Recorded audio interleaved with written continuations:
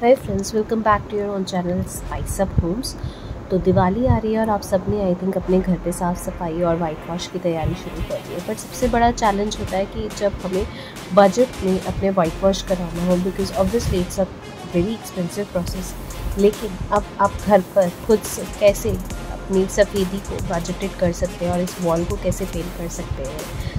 अगर आप जानना चाहते हैं तो आपको वीडियो को पूरा देखना है। मैं इस वीडियो में कैसे कवर करूँगी सारे स्टेप्स जो आपको स्टेप बाय स्टेप सफ़ेदी कैसे करनी है विदाउट एनी एक्स्ट्रा कॉस्ट और क्या क्या मटेरियल चाहिए। सबसे पहले आपको इस तरह से अपनी वॉल को ना प्रॉपर अच्छे तरीके से स्क्रैच आउट करना बहुत ज़रूरी है।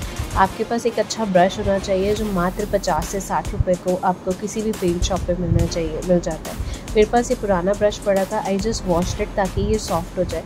और जो भी इसके जो ब्रिसल्स होते हैं ना, जो ये बाल होते हैं कह सकते हैं, उसको आप बिल्कुल अच्छे से ये देख रहे हैं। जहाँ जहाँ से एक्स्ट्रा निकले हुए हैं ना, बाहर से निकल रहे हैं, इनको आपको हटा देना आपका ब्रश एक बहुत इंपॉर्टेंट रोल प्ले करता है। कितना भी अच्छा मटेरियल लगा लो, लेकिन अगर आपका जो पेंटिंग वाला ब्रश है, वो अच्छी क्वालिटी और अच्छे ब्रिजल्स का नहीं होगा तो आपकी पेंटिंग के स्ट्रॉक्स जो होंगे, वो बहुत ख़राब आएँगे। तो मेरे पास पुराना ब्रश था, उसी को मैंने साफ़ करके इसको कट कर कर यहाँ से इसी ब्रश को यूज़ में लाया। आप जो है नया यूज़ कर सकते हैं। यहाँ पर मैंने ट्रैक्टर इमल्शन यूज़ करा है, जो हार्डली आई थिंक ये आधा किलो का डब्बा वॉज़ अराउंड दो सौ बारह रुपये कुछ का था।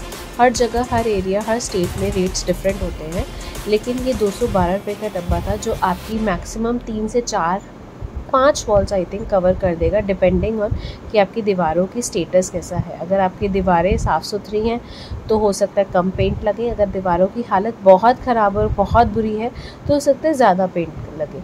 इसके साथ आपको खाली पेंट नहीं यूज़ करना है। जितना आप पेंट डाल रहे हो, उससे डबल आपके उसके अंदर पानी मिलाना होता है। इसको बिल्कुल डार्क और यूज़ नहीं करना है पानी मिलाने से इसकी कंसिस्टेंसी डबल थ्री टाइम्स हो जाएगी और आपको उसके अकॉर्डिंग यूज़ करना है। बाकी अगर आपको ज़्यादा थिक लग रहा है, मोटा लग रहा है, आप पानी ज़्यादा मिला सकते हो, ज़्यादा पतला लग रहा है तो आप कम पानी को मिलाएँ।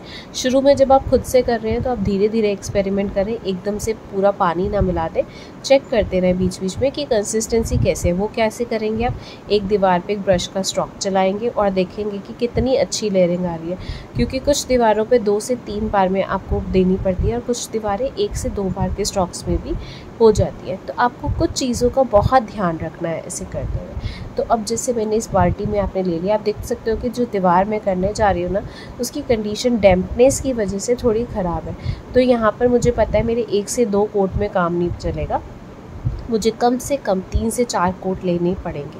उसमें मटेरियल आपका ज़्यादा लगता है, लेकिन आपकी दीवारें बिल्कुल चमक जाती हैं। जहाँ आपकी दीवारें बिल्कुल साफ़ हैं, वहाँ पर आपकी एक से दो कोट भी बहुत बार इनफ होते हैं। जस्ट इसको मैंने एक रेग मार्क से और सैंड पेपर से झाड़ लिया झाड़ू से आप पहले दीवारों को अपनी साफ़ कर लें और उसके बाद जस्ट आप इसको स्टार्ट करें।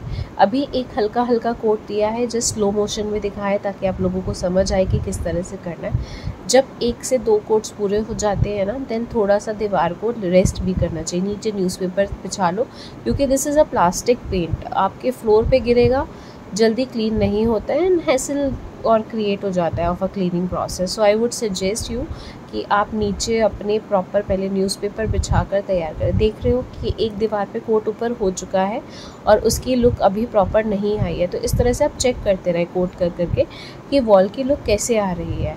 उसके बाद दोबारा कोट्स की ज़रूरत है कोट करो। नहीं ज़रूरत है no need to waste a material brush को एंड स्ट्रॉक से स्टार्ट करना होता है हमेशा, बीच में ना करें। एंड स्लोली एक जो फ़र्स्ट कोट है ना, उसको आराम से स्लोली अच्छे तरीके से एक डीप वो दे। जल्दी में करेंगे ना तो कई बार क्या होता है वॉल में ना जो ये पेंट होता है ना, वो पेंट्रेट नहीं होता है properly so what you need to do, first rock should be your very smooth and nice. And then when your wall is, like, quite ready ना मेरा फ़र्स्ट रॉक के बाद अभी जब दूसरा दे रही हूँ स्ट्रॉक आप देख रहे हो, दीवार बिल्कुल क्लीन और बैलेंस दिख रही है तो आप उसको कर सकते हो। अब कुछ वॉल्स आपकी इस तरह की डैम्प्ड होती हैं, जिसको आपको रिपेयर करना होता है, पहले वाइट वॉश से। क्योंकि जो डैम्प्ड वॉल है, जो सिलन की वजह से ख़राब हो गई है, अगर आप बिना उनको ठीक करें, उसके ऊपर वाइट वॉश कर देंगे तो वो बहुत क्लमजी लगेगा और वो टिकेगा नहीं। तो इसको मैंने कैसे रिपेयर किया in a very budgeted course बीस रुपये से तीस रुपये में आप अपनी इस दीवार को खुद से रिपेयर कर सकते हो। इसका फुल वीडियो कि आपको क्या, कहाँ लगाना है, कैसे लगाना है चैनल पे ऑलरेडी अपलोडेड है, मैं इसका लिंक डिस्क्रिप्शन बॉक्स में दे दूँगी और इसको ऐड भी कर दूँगी। तो आप इस वीडियो को जाकर वॉच कर सकते हो कि कैसे आपकी जो टूटी फूटी दीवार जिस पर सिलन आ रही होती है, उसको आप जस्ट बीस तीस रुपये में घर पर कैसे रिपेयर कर सकते हो। तो इस वीडियो को पूरा आपको देखना है तो आपको लिंक डिस्क्रिप्शन बॉक्स में मिला हुआ है, वहाँ जाकर चेक कर लेना। पूरा process step by step described है, कहाँ से, कैसे, क्या मटेरियल लेना है और कैसे लगाना है। लेकिन जब भी आप सफ़ेदी करें, जो भी वॉल्स जो भी दीवार आपकी डैम्पनेस या सिलन की वजह से ख़राब है, उसको पहले रिपेयर करना इंपॉर्टेंट है। उसको डायरेक्ट कभी भी वाइट वॉश नहीं करना चाहिए। तो आप यहाँ देख रहे हैं, मेरा अभी जो एक लीटर का डिब्बा है वही चल रहा है और मेरी एक से दो वॉल उसमें ऑलरेडी कवर हो चुकी है। जो भी वॉल रिपेयरिंग है, वहाँ मेरा थोड़ा मटेरियल ज़्यादा लगेगा तो उस हिसाब से आइडिया लेकर चलें और कॉस्ट इफ़ेक्टिव वे यूज़ करें।